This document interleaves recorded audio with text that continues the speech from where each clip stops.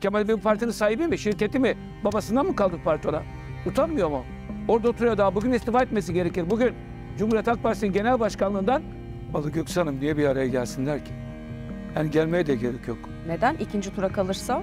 Yani şöyle, onları kendileri de inanmıyorlar ikinci tura kaldıkları zaman. İnansalardı zaten. Ben çok üzülüyorum.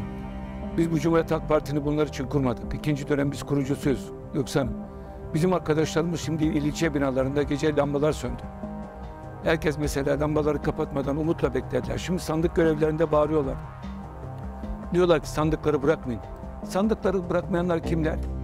Yıllardır bu Cumhuriyet Halk Partisi'ne emek vermiş, çile çekmiş, gayret etmiş, cebindeki ailesinin parasını götürmüş, afişler açmış, bildiriler dağıtmış. Bu insanlar tamamen emekçi insanlar. Bakıyorsunuz hep bu insanlar yine acı çekiyor. Bu insanlar yine akşam geç saatlerde ilçe binalarının ağlayarak lambalarını söndürüp gidiyorlar. Her seçimde böyle oluyor. Kemal Bey genel başkan olduktan sonra 10, se- 10 seçimdir ve bu 11. seçim rica ettik, yalvardık, anlatmaya çalıştık. Yanındaki 4 tane 5 tane dal kavuğu aldı. O dal kavuklarla beraber en büyük kral sensin, senden daha büyük kral yok dedi.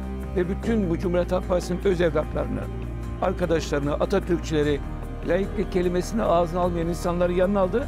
Laik Demokratik Cumhuriyet diyenleri hep kapı dışına koydu. Laik Demokratik Cumhuriyet'ten yana olmayan 75 tane milletvekilini listeye koydu. Bunların 25 tanesi kazandı. İstanbul'da 31 milletvekilinden 18 tanesi bizim partiden değil. Yarın istifa edip gidecek. Ne hakla yapıyor Kemal Bey bunu? Kemal Bey partinin sahibi mi, şirketi mi? Babasından mı kaldık parti ona? Utanmıyor mu? Orada oturuyor daha. Bugün istifa etmesi gerekir. Bugün Cumhuriyet Halk Partisi'nin genel başkanlığından bugün diyecekti ki sabahleyin bir de sokağa çıkmış Tayyip Erdoğan oy kaybetti diyor. Oy kaybeden kim? Burada kaybeden sadece biziz. Ağlayan biziz, canımız sıkılan biziz. Elimizdeki fırsatı teptik. Göksan